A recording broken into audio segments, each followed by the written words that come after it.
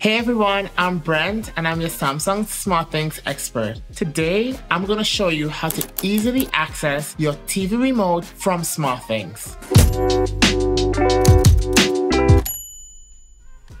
Here are a couple quick and easy ways to access your TV remote through SmartThings on your phone.